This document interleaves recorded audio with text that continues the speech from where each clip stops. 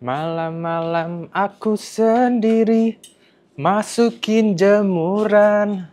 Oke guys, hari ini saya bakal nyeritain pengalaman saya kan udah megang nih Samsung A55 selama 3 bulan. Nah, saya bakal istilahnya kayak nge-review pemakaian aja selama ini seperti apa. Tapi sebelumnya ya, kemarin itu teman saya sempat ngechat saya gitu kan. Uh, biasa sih cari HP-HP yang siapa tahu lu ada HP murah yang mau dijual gitu ya. Padahal saya nggak ada HP murah juga gitu kan. HP-nya aja beli sendiri.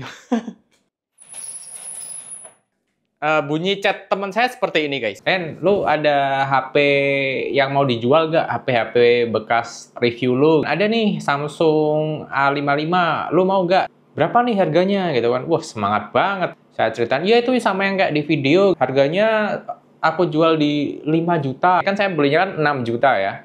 Saya belinya 6 juta, Nah, habis saya jawab 5 eh, juta kok tiba-tiba kok hilang, nggak bales gitu kan. Padahal saya udah rugi rugi 1 juta loh dalam waktu 3 bulan. Ternyata sekarang barunya ada di 5,2 jutaan. Uh, orang pasti pilih selisih 200 ribu, 300 ribu beli yang baru ya, HP harga 5 jutaan gini ya. Untuk Samsung A56 tahun depan mungkin kalau saya nggak ngejar cepet-cepetan saya belinya mungkin sekitar sebulan atau dua bulan lah. Kalau belinya langsung waktu awal rilis lumayan sakit ternyata ya. Oke lah, sekarang kita bakal cari casingnya Samsung A55 ya guys. Ada Samsung, casing Samsung A55, Mbak? Ada. Di situ semua ya, Mbak ya? Ya, ini, ini. Oke, tak lihatkan dulu, Mbak ya. Ini juga A55 Oke. Berapa harganya, Mbak, Mbak? Harganya di plastik ya. Oh gitu. Jadi ada ini casing-casingnya Samsung A55. Saya cari yang nggak mahal, nggak keras, dan kayak karet, agak melehoi nggak apa-apa. Jangan yang kenceng-kenceng, biar nggak ngedamage apa itu frame metalnya ya. Karena iPhone teman saya tuh yang iPhone 12 dikasih casing yang bagus-bagus malah kena bagian metalnya itu. Ini 25 ini 20 uh banyak banget. Ini ada lagi nih 20 nah ini yang karet-karet yang nggak usah kenceng-kenceng ini cocok sebetulnya nih. Kita cari yang aneh-aneh. Yang sederhana yang kayak casing bening gini gitu seperti oh 35 coy. Ini 25 mah ini karetnya nah ini rada melehoi nih. Cocok seperti yang saya cari nih. Cuma ya warnanya lagi nih Terus saya uh, beberapa hari pakai Samsung A55 ini dan keluhan saya masih sama kayak dulu nggak berubah, yaitu adalah HP-nya berat dan mengkotaknya ini jujur aja buat saya pribadi ini nggak nyaman di tangan. Dia tuh kayak licin, jadi saya pegang itu sering melorot. Jadi saya harus ngegrip lebih kenceng banget. Nah karena saya merasa nggak nyaman di tangan, untuk pertama kalinya dalam sejarah di channel ini, saya inisiatif mencari casing. Dan setelah nyoba-nyoba banyak casing, saya akhirnya memutuskan beli yang ini. Beli yang ini, Mbak. 25.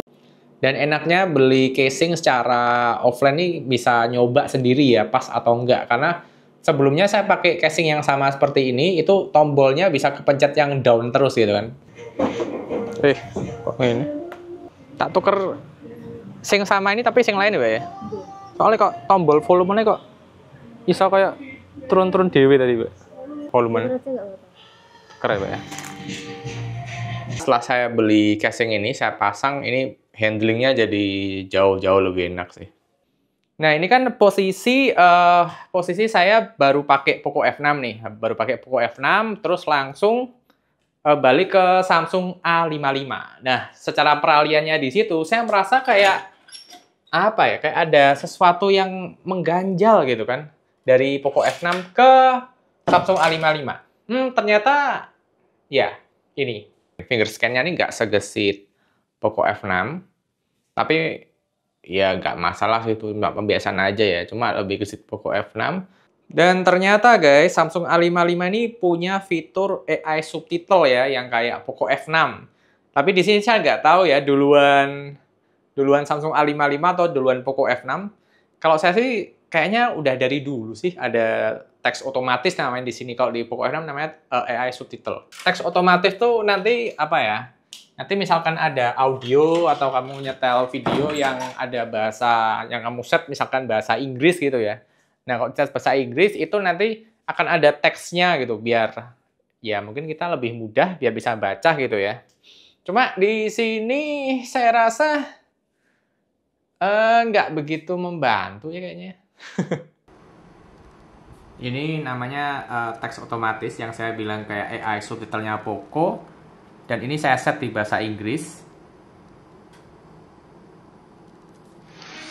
I woke up on Friday morning, 4 a.m., to a message that one of my friends back home had killed himself.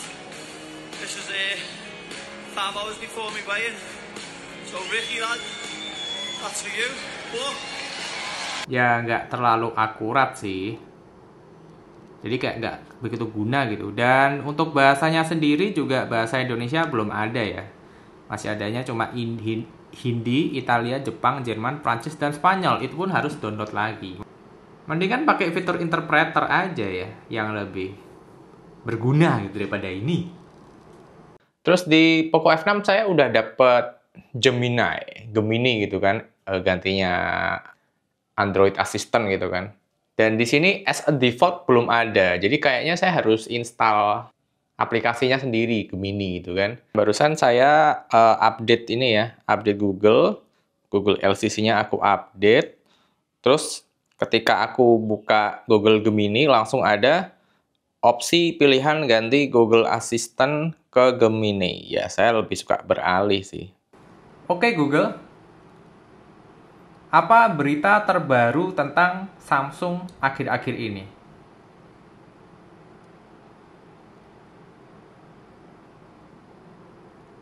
Untuk informasi paling update, sebaiknya kamu cek Oke, langsung Google. sumber-sumber berita teknologi terpercaya seperti Oke Google. Detik.com, Oh, bisa ya, ke harus gini ya. www.detik.com, tautkan ke Kompas. Berita Samsung apa yang traffic pencariannya paling tinggi ya? Berita Samsung mana yang paling banyak dicari saat ini? Seba Nah, jadi ini gantinya Google Assistant ini uh, Gemini, guys. Dia lebih lebih pintar ya. Nah, habis dari Poco F6, saya pakai Samsung A55 nih. Saya pakai Samsung A55. Saya buat ngegame nih. Saya buat ngegame kan. Biasa kan game kesukaan saya itu ML, terus ada PUBG gitu kan. Nah, setelah setelah saya ngegame untuk ML sih kan memang settingannya cuma high high aja gitu ya. Terus kalau untuk PUBG smooth ekstrimnya ada 60 fps. Ya udah oke okay sih untuk ML saya rasa aman, saya bisa main dengan performa yang skill saya yang sesungguhnya tuh bisa keluar di situ. Terus kalau untuk PUBG ya walaupun smooth ekstrim, nah ini ternyata kerasa tetap kerasa frame drop ya ya jadi kayak dari 60 tuh agak turun kalau panas gitu kan. Apalagi kan sekarang uh, saya mainnya kan pakai casing ya. Sekarang saya mainnya pakai casing. Jadi ya nyaman sih di tangan. Panasnya nggak nggak begitu nyampe. Terus juga di gripnya juga makin enak kalau pakai casing. Cuma jadi saya nggak bisa menghandle panasnya dari Samsung A55 ini sih bisa sih pakai fan cooler ini ya, Piva Piva BL7. Cuma ya males, harus cepet-cepet casing gitu kan. Cuma kalau nggak 60 fps, PUBG itu rasanya kayak kurang greget sih.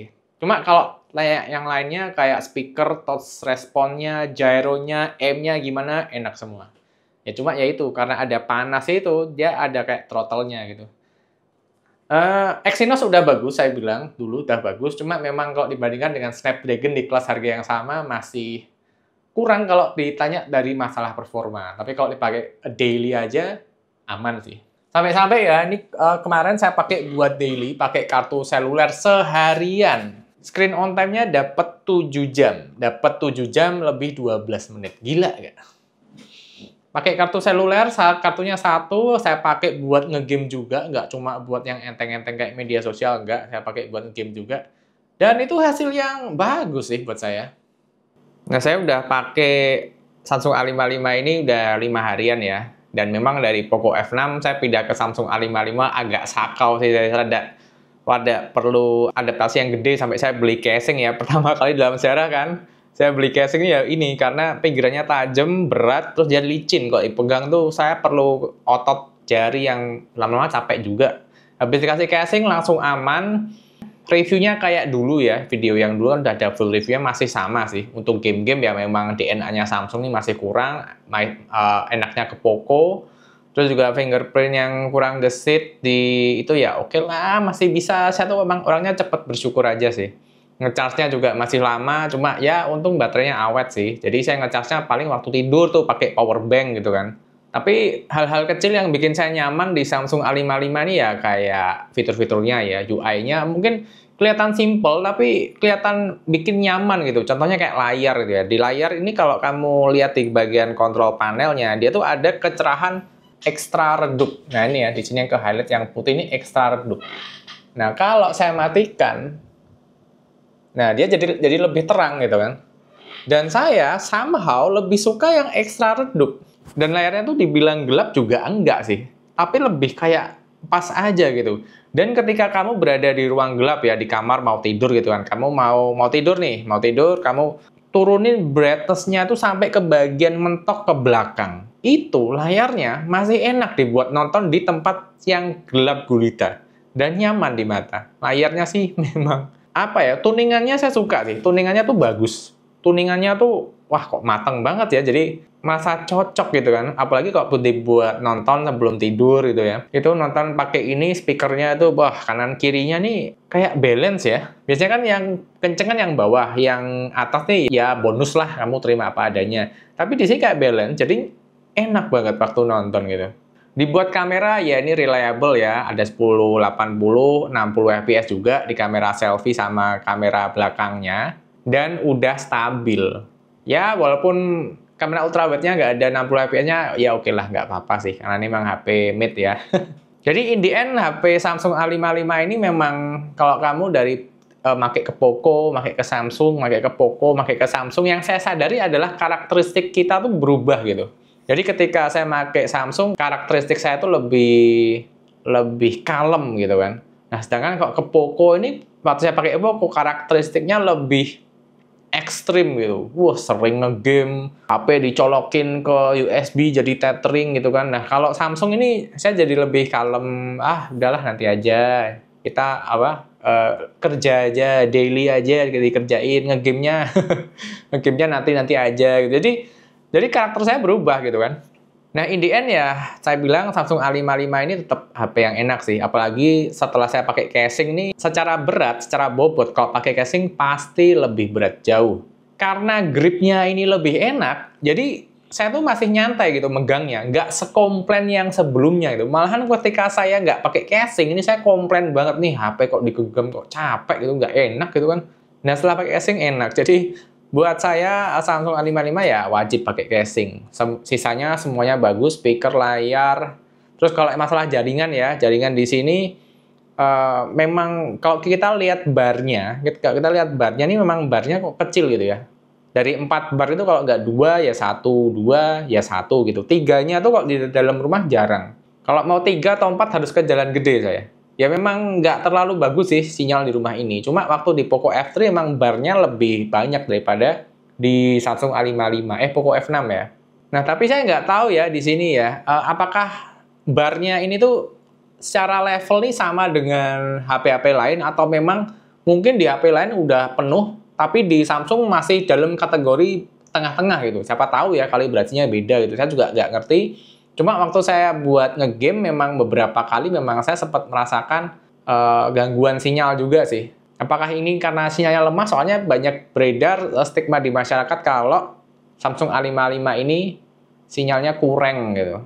Tapi ya itu, asalkan kamu bisa nerima kekurangannya, kayak ngecharge-nya lama tadi juga, HP-nya ini enak kok.